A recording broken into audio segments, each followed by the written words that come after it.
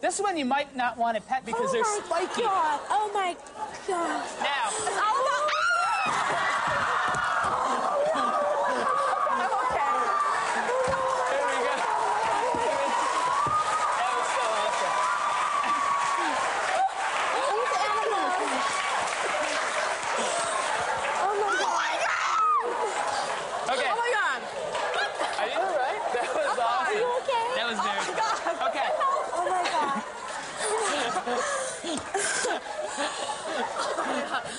That was awesome.